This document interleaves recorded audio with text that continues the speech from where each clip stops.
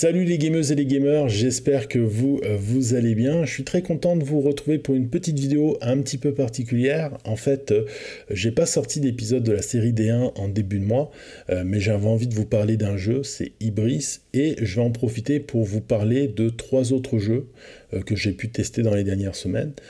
donc voilà, un nouveau format qui apparaît sur la chaîne. Est-ce que c'est un format qui aura des suites? Je ne sais pas. Mais je vais profiter de cet épisode pour aussi vous parler de Donjons et Dragons, la cinquième édition. Voilà, c'est le programme, 4 jeux de société, un jeu de rôle, c'est parti. Je vous propose qu'on attaque tout de suite avec Idris Disordered Cosmos de Damien Chevaux, un jeu pour 2 à 4 joueurs de 14 ans et plus, et d'après la boîte, des parties qui devraient tourner autour des 120 minutes. Alors, la partie que moi j'ai faite, elle a duré 4 heures et c'est certainement dû au fait que euh, c'était la première fois pour chacun des joueurs qui étaient présents autour de la table. On était quatre, euh, donc euh, la totale. mais pour en avoir discuté avec des joueurs qui, eux, ont plus de parties à leur compteur, il semblerait que le 2 heures, ça soit une, valeur qui soit quand même minimisée. Eux, ils m'ont plutôt parlé de 2 heures et demie, voire 3 heures. Peut-être que c'est le genre de jeu où plus vous faites de parties, plus euh, vous vous rapprochez de cette dimension des, deux heures. Euh, mais j'ai vu que plusieurs personnes avaient euh, pointé cela du doigt. Euh, maintenant, euh, c'est peut-être propre au groupe de joueurs que je connais. Hein. c'est possible. Si d'ailleurs il y en a parmi vous euh, qui avez déjà plusieurs parties à votre compteur de Ibris et qui ont des temps de partie qui tournent autour des deux heures, hein, n'hésitez pas à dire, mais non, tu racontes n'importe quoi, dis à tes joueurs que deux heures c'est possible, voici comment Allez-y, faites-vous plaisir. Euh, c'est un jeu qui va vous mettre dans la peau d'un dieu de la mythologie grecque, euh, sauf que vous allez évoluer dans un univers qui, lui, sent bon la science-fiction. Et on va se le dire tout de suite, euh, c'est un jeu asymétrique, c'est-à-dire que votre Dieu, euh, il va avoir ses pouvoirs qui vont lui être propres, il va avoir aussi une petite ressource qui sont les cartes de combat qui vont lui être propres, et euh, il va avoir son, son, gameplay, son, son, développement, parce que vous allez pouvoir développer votre Dieu, qui va orienter son gameplay euh, dans une direction qui va aussi lui être propre. Et pour remporter une partie de Ibris, il y a deux façons d'y arriver. Euh, soit euh, vous euh, passez au travers des six airs qui composent une partie, et euh, vous êtes, après le décompte final, le dieu qui avait votre pion le plus euh, loin sur cette piste. Alors, c'est pas des points de victoire, ils appellent ça autrement, mais concrètement, c'est des points de victoire. Donc, si vous êtes le dieu qui avait marqué le plus de points à la fin de la partie, c'est vous qui l'a remporté. Ça, c'est la façon classique. Ou si vous réussissez à libérer les six tuiles pouvoir de votre plateau personnel, ben là, vous faites une victoire immédiate. Alors, je pense que c'est dû au fait que c'était notre première partie, mais je dois avouer que nous, on a abandonné l'idée assez rapidement, je crois vers la, troisième ère, euh, tout simplement parce que c'est moi qui avais le dieu le, plus développé. Alors à la fin de la partie, j'avais réussi à libérer euh, quatre tuiles, et j'ai l'impression d'avoir euh, vidé mon corps de toute son eau pour y arriver, parce que c'est pas si simple que ça. Vous voyez sur votre plateau personnel, donc vous avez ces six fameuses tuiles, elles sont recouvertes avec des éléments, alors c'est des temples, des étincelles ou des nouveaux ouvriers, et pour pouvoir euh, enlever ces éléments, il va falloir faire des actions, payer des ressources et tout ça. Euh, donc euh, une fois que vous les, avez retirés, vous retournez tout de suite la tuile, vous avez accès au pouvoir tout de suite et vous marquez des points de victoire, ça c'est cool. Mais pour arriver à retirer les éléments, c'est pas si simple que ça. C'est un jeu de pose d'ouvrier avec euh, deux petites particularités. Euh, tout d'abord, vous avez des ouvriers qui sont spécialisés, c'est-à-dire que vous avez l'ouvrier de base, c'est le prophète, euh, comme dans n'importe quel jeu d'ouvrier, quand vous l'envoyez dans l'aire de jeu sur un lieu en particulier, il fait l'action de ce lieu. mais vous avez aussi des ouvriers spécialisés, c'est vos héros. Eux, quand vous les envoyez quelque part, ils peuvent se battre. Donc si vous les envoyez au Colisée, vous pouvez affronter d'autres héros pour les recruter, mais vous pouvez aussi vous en servir attaquer les autres joueurs et leur piquer leur bonus. Et enfin, il y a votre dieu. Lui, quand vous l'envoyez quelque part, vous allez pouvoir activer les pouvoirs et les avantages de ce dernier pour justement euh, mettre l'action dans votre poche. Alors, la deuxième particularité, c'est qu'on est sur un jeu de pose d'ouvrier avec de la programmation. Vous voyez, vous avez des petits pions là euh, qui en fait comportent le nom des différents lieux. Et au début de votre tour, vous allez prendre ces pions et les placer en dessous de vos ouvriers et euh, ça va faire que euh, bah, vous assignez un ouvrier à tel ou tel lieu. Après, c'est vous qui décidez dans quel ordre vous envoyez vos, vos, ouvriers, mais vous ne pourrez pas, sauf si vous avez un pouvoir qui vous le permet, envoyer un ouvrier dans un autre lieu que celui que vous lui avez programmé. Et ça, c'est assez sympa, parce qu'en plus, ces pions, une fois que vous les avez utilisés, ils vont mettre du temps à être de nouveau disponibles. Donc, euh, il y a vraiment une réflexion qui se fait euh, sur la programmation qui est très intéressante. En plus, tous les lieux sont ouverts. Euh, vous pourrez toujours envoyer un ouvrier quelque part. La seule chose qui va être limitée, c'est les bonus euh, obtenus quand vous êtes le, premier arrivé sur un lieu. Bah, quand vous êtes dans les trois premiers, vous allez pouvoir gagner des bonus. Le quatrième, va falloir qu'il paye sa place. Et ça, ça fait souvent râler parce que déjà, envoyer un ouvrier, souvent, ça vous coûte quelque chose. Bon, c'est un jeu où il y a plein de choses à faire. vous allez pouvoir récupérer des technologies les faire fabriquer. Euh, c'est très thématique. Euh, vous allez pouvoir les installer ensuite dans le monde des mortels, accomplir des exploits en venant ici, drainer de l'énergie sur un monstre, affronter des héros. Il y a plein, plein, plein de choses à faire dans ce jeu, plein de choses à optimiser. Euh, votre force de combat, euh, votre piste d'honneur qui va euh, se déclencher chaque fois que vous installez des, technologies. si je voulais vous expliquer le fonctionnement du, du jeu, cette partie-là serait beaucoup trop longue. Mais il y a vraiment beaucoup, beaucoup de choses et je vais plutôt vous présenter le titre en termes de points forts et points faibles. Je vais vous donner trois points forts pour moi. Premièrement, c'est un jeu qui est super thématique. On est dans un jeu Eurogames, il y a la gestion de ressources, hein, c'est souvent à ça que sert la pose d'ouvrier, avec de la construction de tableaux, c'est-à-dire que vous allez euh, développer votre plateau personnel.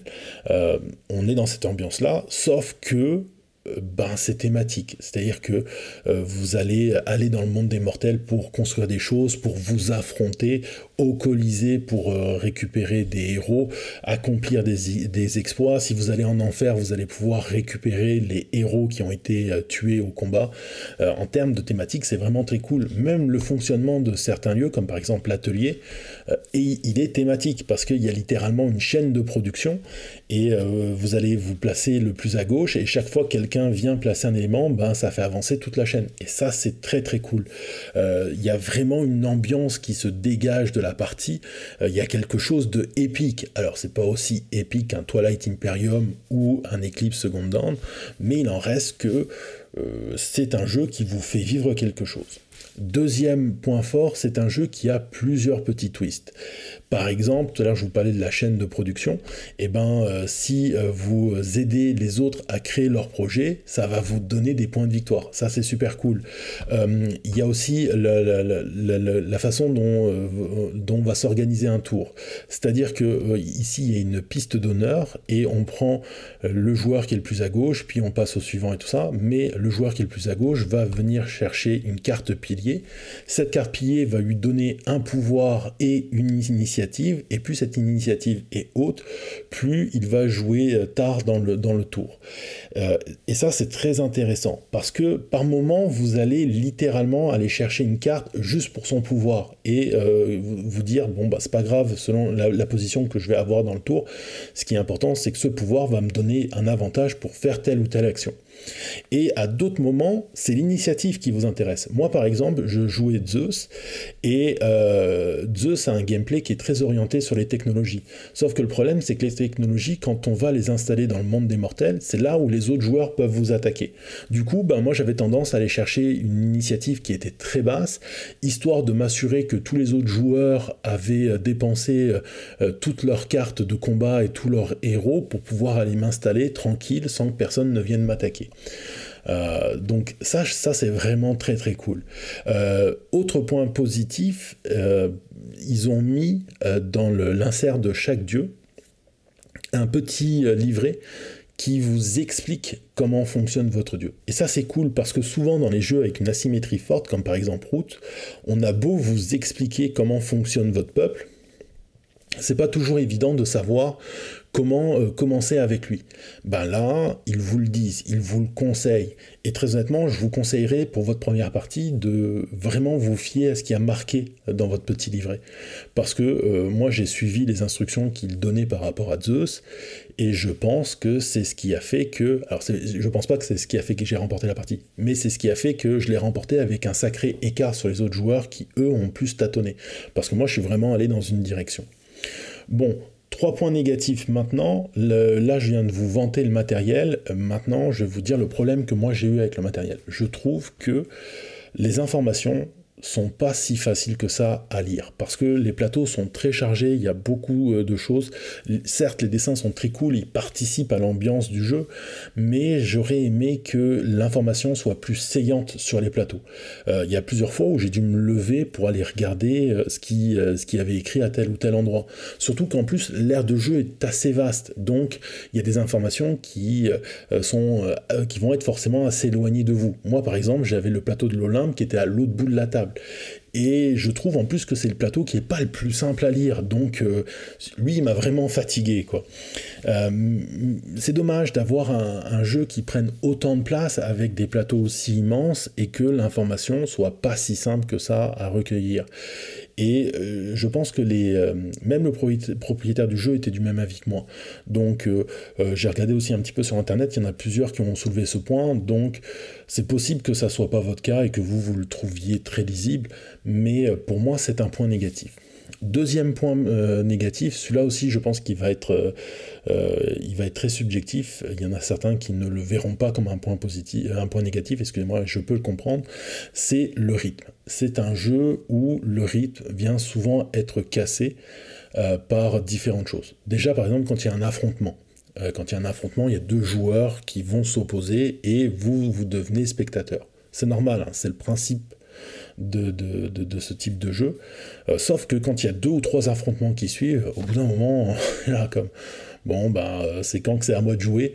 Euh, il y a un rythme qui est assez particulier et euh, en début de partie, c'est pas très grave. Euh, même moi, j'aime ça, regarder les autres jouer.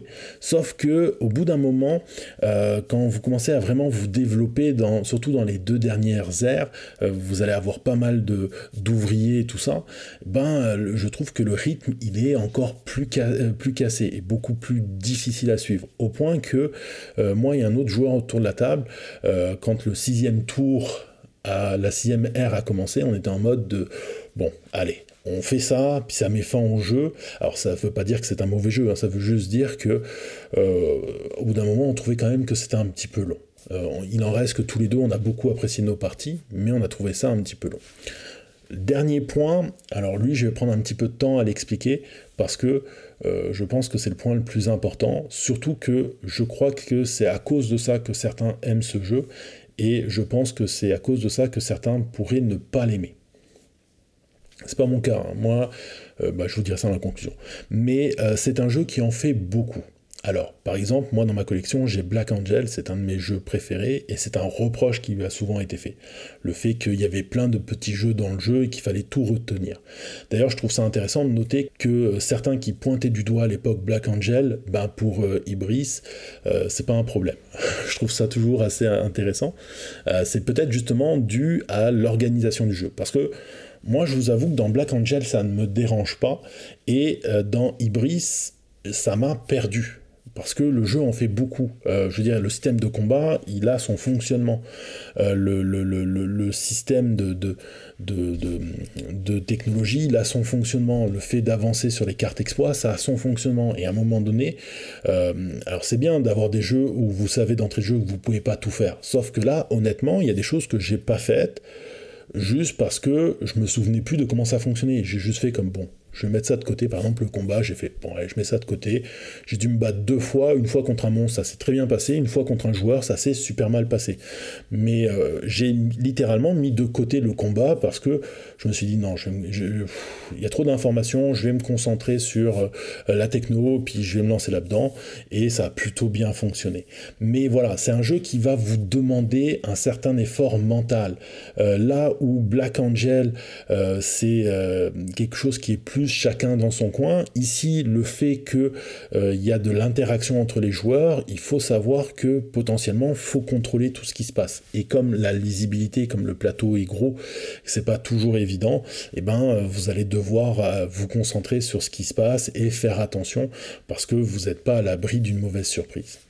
En conclusion, pour moi, c'est un jeu qui est très intéressant.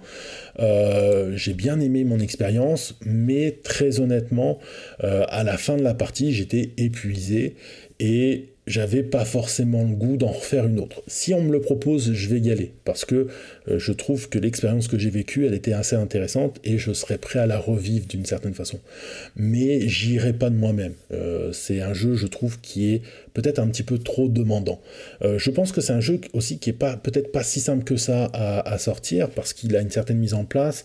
Il a un côté épique, comme je vous disais, donc il demande du temps. Je pense aussi que c'est un jeu qui va demander un certain investissement en termes de temps, en termes d'argent aussi. On va en parler dans un instant, parce que justement, pour justement apprendre à maîtriser un dieu, euh, faut le jouer plusieurs fois et tout ça, sauf que les parties sont longues, il faut rester concentré, euh, c'est pas si simple. Maintenant, si vous, c'est votre cam, si vous aimez les jeux épiques, que vous savez que vous sortirez peut-être de temps en temps, ou alors que vous sortez beaucoup de jeux épiques, allez sur ce titre, parce que je pense qu'il mérite d'être encore plus connu que ce qu'il est au jour d'aujourd'hui parce que il raconte quelque chose. Il réussit vraiment à faire la, fusion entre l'améritrash et l'eurotrash, ce qu'on appelle euh, euh, excuse-moi, et l'Eurogame, ce qu'on appelle de l'Eurotrash. Voilà, c'est là où j'ai fait mon petit lapsus.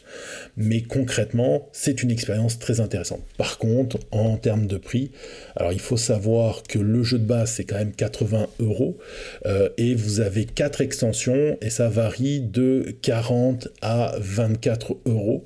Ces extensions vont vous ramener de nouveaux dieux, euh, de nouveaux lieux, et il y a une extension qui est spéciale pour le mode solo et le mode coopératif la totale, si vous voulez, le jeu de base et ses quatre extensions, c'est quand même 240 euros.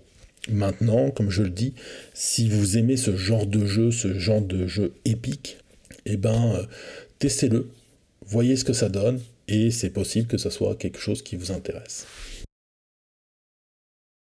Je vous propose qu'on parle maintenant d'un titre qui va vous demander moins de réflexion mentale, non, c'est pas vrai.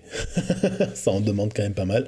C'est Shogun no Katana de PS Martensen et Federico euh, Randazzo, deux jeunes auteurs euh, qui proposent ici un titre pour 1 à 4 joueurs de 14 ans et plus, des parties qui tournent entre 60 et 180 minutes. Nous, on a fait une partie à 3 joueurs et on était pas mal dans ces eaux-là. Euh, c'est un jeu qui va vous mettre dans la peau d'un forgeron, ou je devrais plutôt dire d'un maître artisan bercé dans l'art de fabriquer des katanas, et vous allez devoir euh, gagner en notoriété et développer votre atelier afin de fabriquer le katana le plus exceptionnel pour votre shogun. En gros, va falloir pour remporter la partie que vous marquiez plus de points que vos adversaires. C'est un jeu de pose d'ouvrier, cette fois-ci c'est à place limitée, donc euh, il va falloir que vous choisissez euh, vraiment avec minutie le moment où vous envoyez vos ouvriers sur tel ou tel lieu parce que potentiellement euh, vous pouvez vous faire griller la place et ne pas avoir accès à ce dont vous avez besoin. Du coup, eh ben, réfléchissez avant de poser votre ouvrier. Euh, on a aussi euh, ici des ouvriers spécialisés, sauf que ce qui est intéressant, c'est que ces derniers sont directement présents sur le plateau de jeu. Ce sont des moines, c'est-à-dire que vous avez vos artisans que vous allez pouvoir envoyer en permanence sur le plateau et vos moines qui sont là. Et eux, pour pouvoir les récupérer, vous allez devoir dépenser de l'argent. Et quand vous les envoyez sur un lieu, ils vous donnent accès à un petit avantage. Alors, vous avez d'autres pièces. Vous avez euh, vos concubines que vous allez pouvoir placer dans ce secteur-là. Euh, et quand euh, vous venez vous installer, vous allez pouvoir activer les tuiles sur lesquelles sont vos concubines. Et vous allez gagner tout un tas d'avantages. Et en plus, quand les autres viennent s'installer dans ce lieu, vous allez pouvoir activer une tuile où il y a une de vos concubines donc euh, un lieu très intéressant. Et vous avez aussi des ouvriers euh, maîtres qui sont euh, placés ici. Vous allez pouvoir les faire progresser sur ce plateau, histoire de pouvoir décorer vos éléments que vous installez dans vos katanas et que ça vous fasse gagner un maximum de points de victoire et aussi d'argent. Alors, on va aussi faire le système des, des points positifs et des points négatifs. Premier point positif pour moi, c'est le jeu dans le jeu. C'est-à-dire que là aussi, on est sur un jeu qui ne fait pas que de la pose d'ouvrier. En fait, vous allez avoir deux plateaux personnels. Il y a votre atelier et euh, votre maison. La maison, en fait, euh, vous allez surtout l'utiliser pour euh, débloquer de nouveaux ouvriers et optimiser vos points de victoire, mais aussi programmer la création de votre shogun katana. Euh, donc de votre katana pour le shogun. Mais il y a le plateau de l'atelier et lui, il a une mécanique qui est très intéressante. C'est-à-dire que il y a un quadrillage, vous allez récupérer des schémas de katana que vous allez installer dans ce quadrillage en fonction de la première ressource. Par exemple, si euh, votre katana demande comme première ressource du bois, eh bien vous allez venir la, placer sur la, la ligne du bois. Et ensuite, quand vous envoyez un ouvrier euh, sur une ligne ou une colonne, en fait, il va vous permettre de déplacer tous les schémas qui sont sur cette ligne ou sur cette colonne. Et le déplacement, euh, vous allez devoir le faire vers la prochaine ressource de votre schéma. C'est par exemple votre katana demande, comme je l'ai dit en première ressource, du bois. Quand vous le déplacez, vous allez le déplacer sur la ligne du bois, histoire de pouvoir venir mettre cette ressource sur votre katana, et si par la suite vous allez devoir y aller avec un morceau d'acier, et eh ben vous allez activer la colonne où il est pour le déplacer vers la ligne de l'acier, donc le faire descendre d'une colonne, pour pouvoir venir placer votre acier. Et ça, c'est très très cool parce que euh, cet atelier, vous allez pouvoir l'optimiser en jouant des cartes qui vont vous faire gagner des bonus. Et donc, selon la localisation où vous finissez votre katana, vous pouvez gagner tout un tas d'avantages. Et si vous optimisez bien votre atelier, ça peut être très payant. Moi, c'est ce que j'ai réussi à faire dans ma partie. Euh, et c'est ce qui fait que je n'ai jamais manqué d'argent. Parce que les moines sur la quatrième manche, parce que le jeu va se dérouler en quatre manches, ils coûtent quand même 12 pièces. Et 12 pièces, c'est pas si simple que ça à voir. ben moi, à chaque fois, je sortais un katana et je gagnais euh, plus de 8 pièces. Euh, donc c'était assez quand même c'était assez facile de pouvoir les récupérer. Mais euh, ça, mécanique très intéressante. Deuxième euh, point euh, positif, c'est un jeu, comme je le disais, avec des places limitées, mais il y a des petits twists pour essayer quand même de, faire quelque chose. C'est-à-dire que vous vous retrouvez pas en reste pour, pour toute une manche. Non, il y a toujours moyen de pouvoir, par exemple, venir ici avec les tuiles pour récupérer des ressources.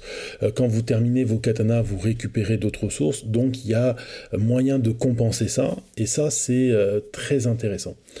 Euh, enfin, c'est un jeu où l'optimisation, elle peut être poussée à son extrême. Et ça, c'est très très cool. Parce que, euh, bon, moi je vous ai parlé des ressources pour les schémas, mais il faut savoir que ces ressources, vous allez pouvoir les améliorer avec des décorations. À savoir que sur chaque katana, vous ne pouvez améliorer qu'une seule fois chaque ressource. Mais concrètement, le faire, ça vous fait gagner de l'argent, ça vous fait gagner des points de victoire euh, quand euh, vous sortez votre katana de l'atelier.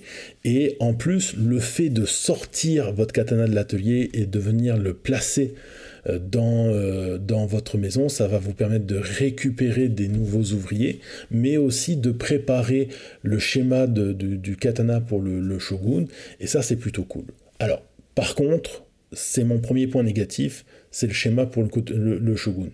C'est-à-dire que cette petite mécanique, le fait de devoir mettre des, ressources, de bien prévoir son schéma, de bien prévoir le moment où vous allez lancer la production de ce dernier, c'est pas évident sur une première partie. Euh, et euh, moi, je vois par exemple euh, les trois joueurs autour de la table sur le, dernier âge, on s'est vraiment demandé si on allait réussir à produire nos, katanas pour le shogun, euh, parce qu'on était persuadé à un moment donné que on s'était mal débrouillé. Finalement, on, a tous réussi à les sortir, mais ça s'est joué sur le, fil. C'est, vraiment, moi, c'est vraiment parce que j'ai réussi à avoir les deux moines que j'ai pu le faire. Sinon, j'étais bloqué.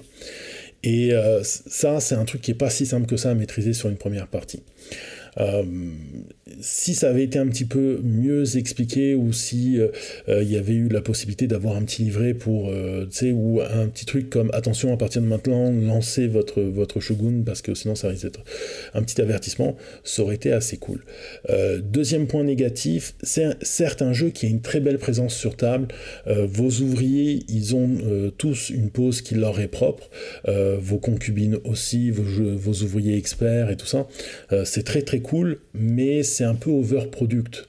Euh, très honnêtement, on peut se demander si c'est vraiment utile. Oui, ça fait beau, mais des meeples auraient très bien fait le job et concrètement euh, le prix du jeu aurait été peut-être moins cher.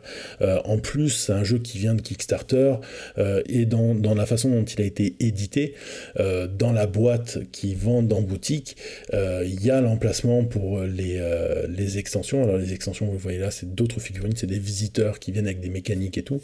c'est bien qu'il y ait une place pour eux dans la boîte, mais il y a aussi la, la place prévue pour les ressources euh, updatées. Par contre, euh, si vous n'avez pas les ressources updatées, eh ben, il n'y a pas de place prévue pour les ressources de base. C'est très étrange. Euh, en termes de d'édition, ça aurait pu être un petit peu mieux travaillé. surtout que mon dernier point négatif, c'est la règle. La règle, alors, j'aurais pu mettre la thématique. La thématique aussi est un petit peu plaquée. Mais bon, moi, c'est pas le genre de truc qui me dérange. Maintenant, je sais qu'il y en a qui aiment pas trop ça. Mais le livret de règles, c'est pas la meilleure des traductions. Franchement, euh, c'est même dommage. Parce que je trouve que, euh, voyez, par exemple, nous, on a mal compris euh, la façon de compter le katana pour le shogun. Alors, il y a un exemple qui, d'après ce qu'on a dit, est quand même très clair dans le livret de règles, je ne suis pas allé vérifier, mais il y a quand même pas mal de points de règles où on est venu, euh, on, a lu, relu, euh, notamment des avantages qu'on pouvait gagner, parce que euh, quand vous allez chercher par exemple des schémas de katana, vous récupérez des petites cartes qui vous donnent des avantages et tout ça. Et il y a plein de moments, on, on a fait des retours aux règles parce qu'on était en mode de je comprends pas l'iconographie, puis il y a plein de moments où on lisait les points de règles en faisant attends, qu'est-ce qu'ils veulent dire? Attendez, on va voir. Et il y a deux, trois fois, on est allé voir dans la règle en anglais. C'est dommage, c'est dommage parce que je pense que c'est un jeu qui euh, pourrait euh, vraiment plaire à pas mal de personnes, sauf que euh, bah, cette difficulté de règles, c'est pas si simple. Alors, il y a des très très bonnes vidéos règles qui traînent sur YouTube, donc allez voir ces vidéos règles. si le jeu vous intéresse. en, en conclusion, c'est un titre qui, que moi j'ai trouvé intéressant euh, pour la mécanique de l'atelier. Je trouvais ça assez cool, il faut bien suivre son schéma, d'ailleurs il faut bien réfléchir à la façon dont on programme le, Shogun Katana, parce qu'on peut se mettre dedans avec ce dernier. Euh, c'est très intéressant. Euh, c'est un, jeu où on a l'impression qu'on peut tout faire. Alors c'est peut-être dû à ma première partie, mais moi j'ai vraiment eu l'impression que je pouvais tout faire, que j'étais pas trop limité et tout ça. par contre, en termes d'optimisation et tout, c'est un jeu qui est vraiment génial il a vraiment une ambiance qui est très très cool là-dessus. Maintenant, euh, si on me propose de refaire une partie, j'irai. Euh, peut-être même que je pourrais proposer euh, l'idée de faire une partie. Par contre, je ne pense pas que c'est un titre que je voudrais ajouter à ma collection. je m'étais posé la question au moment du Kickstarter si j'allais dessus ou pas. Au jour d'aujourd'hui, je suis content de ne pas être allé dessus parce que je le trouve bien, mais je trouve qu'il y a d'autres jeux qui font mieux que ce que lui fait. Euh, maintenant, euh, si vous aimez cette ambiance-là, si euh, vous êtes intrigué par le fonctionnement de l'atelier tout ça, allez le tester, ça peut vraiment vous plaire. c'est un jeu qui coûte quand même dans les 69 euros avec, pour, sa boîte de base, et ce parce qu'il y a beaucoup de figurines et les extensions. Donc il y a deux personnages vendus à part qui coûtent, dans, qui coûtent moins de 10 euros. Je crois que c'est 8 euros chacun. Euh, par contre, truc très bizarre, leur, euh, la description de leur fonctionnement n'est pas avec eux dans la boîte. Pour ça, il faut acheter la, grosse extension avec tous les personnages euh, qui, elles, coûtent autour des 25 euros. c'est très très étrange. Je ne sais pas pourquoi ils ont fait ça. Mais concrètement, si vous voulez acheter le tout, il y en a quand même pour 105 euh, euros facile. Quoi. Voilà, c'était pour euh, Shogun no Katana. Bon, je vous propose qu'on parle maintenant de Earth, un jeu de Maxime Tardif qui devrait arriver en boutique au moment où je sors cette, euh, cette vidéo.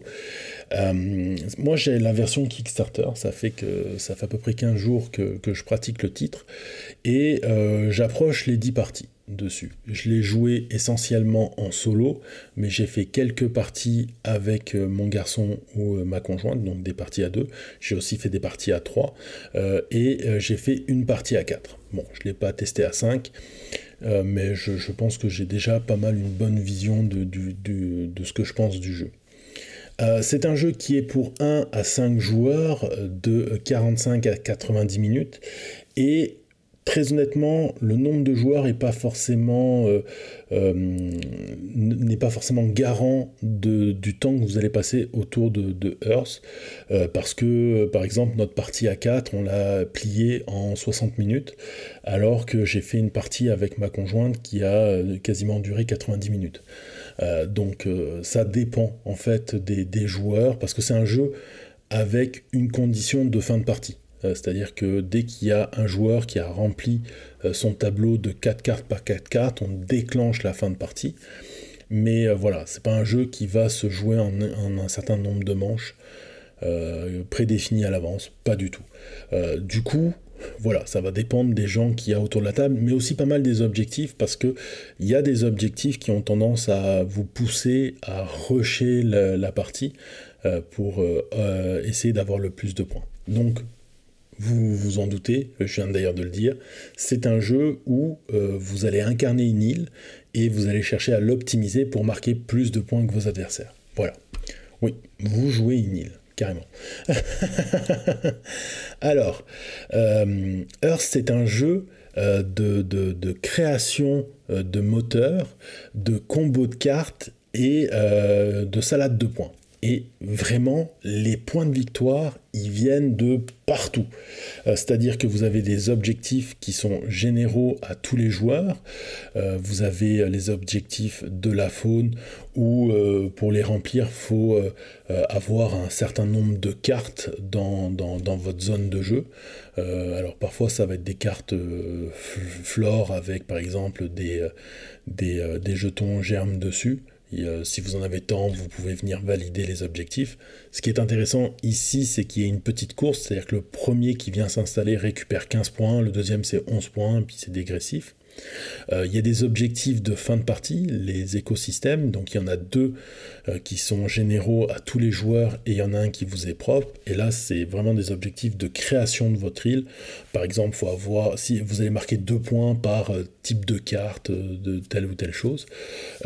les cartes que vous installez dans votre île, elles ont des points de victoire euh, flat.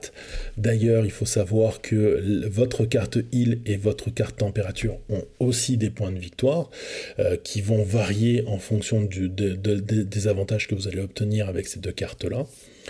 Et euh, enfin, il y a des points de victoire qui viennent des cartes terrain. Alors là, ça va être des, dispositions à installer dans votre île pour pouvoir les faire scorer. Et j'allais oublier, mais vous scorez aussi des points pour euh, votre pile de cartes qu'il y a dans votre compost, pour le nombre de euh, jetons germes que vous avez installés dans votre île et le nombre de jetons croissance que vous avez plantés. Voilà. les points de victoire, ils viennent de partout. Et clairement, c'est dur de tout faire, mais c'est possible. Euh, c'est un jeu qui va euh, en fait euh, se dérouler assez simplement. Vous avez quatre actions. vous allez choisir à votre tour l'une de ces actions et les autres joueurs vont pouvoir faire cette action mais avec une force moindre. Par exemple, si euh, vous faites euh, l'action de, plantation, vous allez pouvoir poser deux cartes dans votre île, donc vous allez dépenser des jetons de terrain euh, que, vous allez, que vous allez avoir amassés sur votre plateau, et vous allez installer deux cartes île, et ensuite vous allez piocher quatre cartes et en conserver une.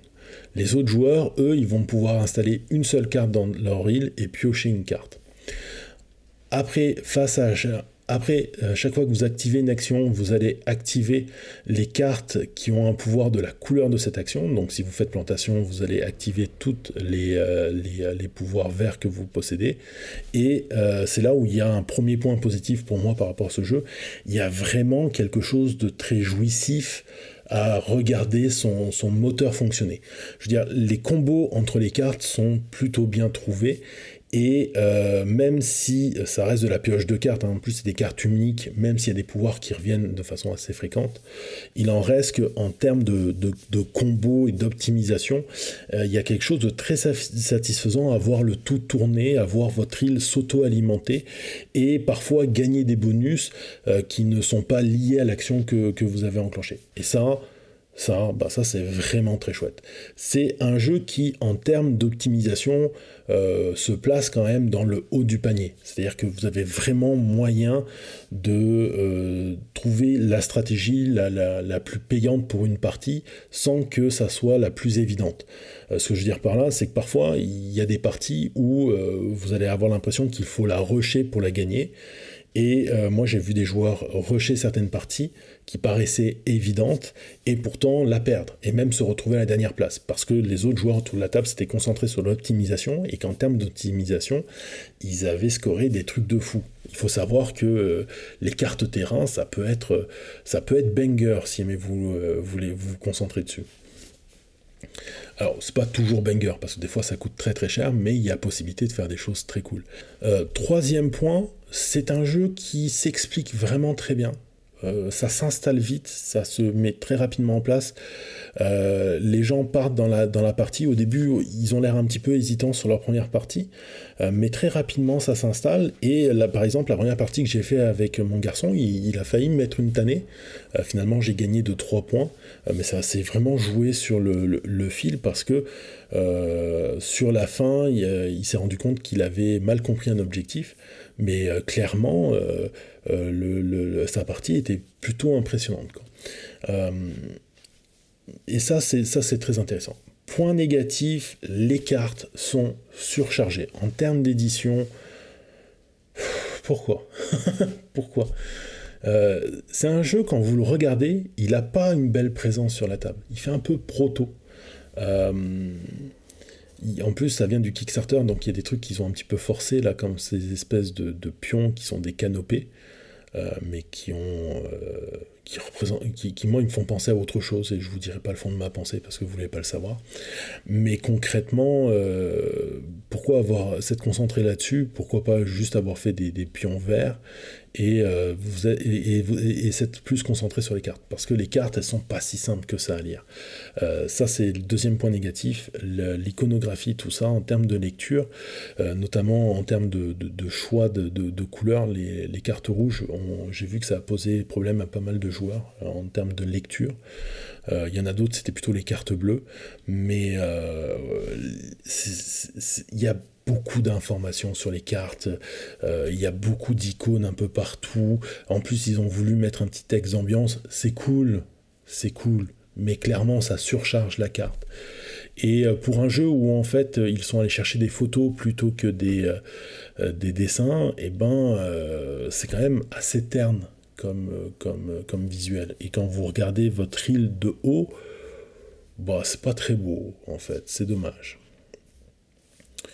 Euh, dernier point négatif, pour moi, alors je sais qu'il y a pas mal de joueurs qui l'ont encensé et tout, en disant waouh c'est incroyable et tout. Pour moi c'est un wingspan légèrement différent, mais euh, il y a vraiment du wingspan dedans. Euh, c'est pas un jeu qui réinvente la roue. certains l'annoncent déjà comme le, le futur Arc Nova. Très honnêtement, je ne crois pas pour moi, c'est quelque chose qu'on a déjà vu. Et il fait très bien ce qu'il fait, euh, très honnêtement. Mais c'est du déjà vu, c'est pas un jeu qui réinvente la roue. Et euh, bah, je suis un petit peu déçu parce que à la base, quand je l'avais kickstarté, euh, je m'attendais à quelque chose de, de différent. Et première partie, je me suis dit, c'est Wingspan en fait. Sauf que, ben, au lieu des œufs, je mets, euh, je mets des jetons germes, je mets des jetons croissance. Alors, il y a deux, trois trucs qui sont un petit peu différents de, de, Wingspan, mais concrètement, euh, on est dans ce genre de jeu-là. Bon, conclusion, ça reste un, titre que j'apprécie beaucoup. Euh, je prends plaisir à le ressortir, à le faire découvrir. il a il y, a un point, un point négatif que je ne vous ai pas cité, mais je vais le faire là maintenant. Euh, je pourrais rajouter d'ailleurs ce quatrième point négatif. Euh, si vous n'aimez pas le hasard, vous allez pester contre le jeu. Parce que, comme c'est le cas d'ailleurs pour Wingspan, euh, si la pioche ne peut pas vous aider, elle ne vous aidera pas. On est vraiment dans ce genre de jeu où euh, c'est le hasard qui en fait un jeu d'opportunisme. De, Par contre, si vous aimez comme moi les jeux d'opportunisme, ça va pas vous déranger. Vous allez faire avec ce que vous allez avoir en main. Mais concrètement, euh, il y, a des moments où on a envie de pester contre le titre parce que par exemple vous avez un objectif qui dit que le premier joueur qui a réussi à jouer 4 cartes événements euh, il, va pouvoir scorer 15 points. Vous voyez ça, il y a 24% de cartes qui vont vous aider. Et en fait, il y a un joueur, il commence la partie avec 3 cartes événements. Et à un moment donné, il va repiocher la, la quatrième. Et là, vous, euh, bon, bah voilà. concrètement, ça reste un jeu où il faut piocher des cartes. Donc si vous aimez pas le, le, hasard, euh, ne vous approchez pas de Earth parce que vous risquez de pester. Ou testez-le en vous disant il y a du hasard, peut-être que vous pesterez moins que je le pense, mais euh, la plupart des gens que je connaisse qui aiment vraiment avoir le contrôle, euh, qui sont pas très fans de Wingspan, et eh ben ça, ils ont fait ce reproche-là. Donc je m'attends à, voir pas mal d'autres personnes lui faire ce reproche-là. Mais moi, personnellement, j'aime Wingspan, j'aime ce côté hasard, j'aime ce côté opportuniste que le jeu offre, j'aime le fait que les points viennent de plein d'endroits, je trouve très agréable à sortir, je trouve qu'il est très satisfaisant à regarder tourner. Maintenant, euh, je pense que c'est un jeu qui est un peu surestimé. Euh, je suis content de voir qu'il euh, a une note qui est quand même de, qui, pas au-dessus de 8. Je pense qu'il mérite son 7.9. Parce que, comme je le dis, il ne réinvente pas la roue, mais ce qu'il fait, il le fait bien. Et euh, si vous aimez les, jeux de combo de cartes, comme moi, si euh, vous aimez euh, regarder votre moteur tourner et être satisfait de votre création, c'est un jeu qui est fait pour vous. c'est pas un jeu qui est excessif. il coûte dans les 50 euros. et en termes d'édition, je veux dire, en dehors du fait qu'il n'est pas très beau, c'est très correct euh, comme, euh, comme produit.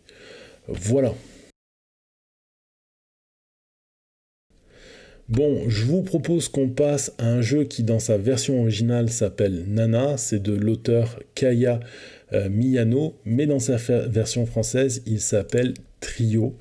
Il est pour 3 à 6 joueurs de 7 ans et plus et des parties d'environ 15 minutes. Alors, Trio, euh, c'est un véritable petit délice. Euh, je ne vous ferai pas les points négatifs et les points positifs euh, parce que, bah, en fait, si je les faire. Point positif, c'est fabriqué en France, ça coûte pas cher et c'est très drôle à jouer. Point négatif, c'est quoi l'idée de, de, ce décor mexicain et tout? C'est super plaqué, c'est super étrange, c'est joli, mais pourquoi? Pourquoi pas une autre thématique? Euh, Autre point négatif, euh, bah, j'en ai pas. Voilà, ça c'est un point négatif. Et dernier point négatif, ben j'ai pas de deuxième point négatif. voilà, je vous ai fait les trois points. Mais concrètement, trio, comment ça se joue? Euh, Vous allez vous avez un paquet de cartes qui contient euh, que des triplettes de 1 à 12. Donc vous avez 3 cartes 1, 3 cartes 2, 3 cartes 3, etc. etc. Et vous allez mélanger ces cartes et vous allez en distribuer un certain nombre en fonction du nombre de joueurs qui est autour de la table. Puis vous allez en installer au centre de cette dernière. Et ce qui va se passer, c'est que à votre tour, vous allez soit demander à un joueur sa plus grande ou sa plus petite carte, soit révéler une carte du centre de la table. Et l'idée, c'est de faire des triplettes pour pouvoir euh, remporter la partie. Alors il y a deux façons euh, de le jouer. Soit euh, c'est le premier qui arrive à trois triplettes qui remporte la partie, euh, soit euh, vous allez devoir euh, obtenir deux triplettes, mais par exemple, si vous avez une triplette de 10, il va vous falloir la triplette de 3 pour gagner la partie. Si quelqu'un vous pique la triplette de 3, vous allez râler. Mais bon, donc comme je disais, à votre tour, vous allez donc appeler soit, vous allez soit appeler la plus grande ou la plus carte d'un joueur, puis euh, soit vous euh, appelez euh, la plus grande ou la plus petite carte de ce même joueur, soit d'un autre joueur, soit de vous, soit vous retournez une carte au centre de la table. Et si vous avez deux fois le même numéro, eh ben vous pouvez tenter votre chance pour gagner la triplette. Et ça, tout ça, là, ça fait toute la dynamique du jeu. Parce que vous allez devoir faire appel à votre mémoire, vous allez devoir vraiment vous euh, demander qui a quoi. Vous pouvez vous appeler, donc vous pouvez cacher des cartes dans votre main. surtout qu'en plus, si vous avez la triplette de 7, c'est victoire automatique. Les, deux premières parties que j'ai faites, je les ai remportées comme ça. C'est super plaisant, ça, ça, ça détend l'atmosphère. pour commencer une soirée, ou entre deux gros jeux pour patienter. Euh, c'est vraiment un titre assez intéressant. Euh, je vous recommande de le tester. Moi, je me suis bien marré, alors que je suis pas généralement le genre de public pour ce type de jeu. Mais là, concrètement, c'est simple, ça s'explique vite. Et euh, j'ai même fait jouer à ma fille, elle s'est super bien marrée. Euh, j'ai acheté le jeu et mon garçon l'a emmené en vacances chez ses grands-parents. Et euh, tous les soirs, il tape sa petite partie de trio avec ses grands-parents et, ça, et tout le monde se marre. non, très honnêtement, c'est un jeu qui a un petit succès et c'est compréhensible parce que c'est tout simple, c'est très minimaliste, ça s'explique bien. Voilà, tester trio. je vous ai pas parlé du prix. C'est autour des 13 euros en boutique. Bon allez, c'est le moment de terminer avec Donjons et Dragons 5ème édition. Ça faisait un petit moment euh, que je voulais me remettre euh, au jeu de rôle. Et euh, du coup, j'y suis allé avec la 5 édition de Donjons et Dragons. Pourquoi? Euh, ben en fait, euh, parce que c'était ce qui euh, intéressait le, plus le, les groupes, le groupe de joueurs que j'ai trouvé, c'est-à-dire mes deux cousins et mon garçon. donc du coup, ben, un bon classique. Alors, cette cinquième édition, elle est particulière parce que moi, je me souvenais de la 3.5, hein, c'est celle sur, le, sur laquelle j'ai passé le plus de temps, qui est une version qui se veut très alors je ne sais pas si le mot existe, mais je vais dire simulaliste.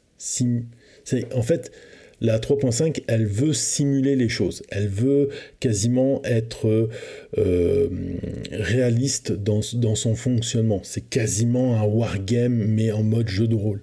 Euh, c'est-à-dire que si vous faites une boule de feu, faut que cette boule de feu, elle, elle réagisse comme si, elle aille dans telle, dans telle direction et tout ça.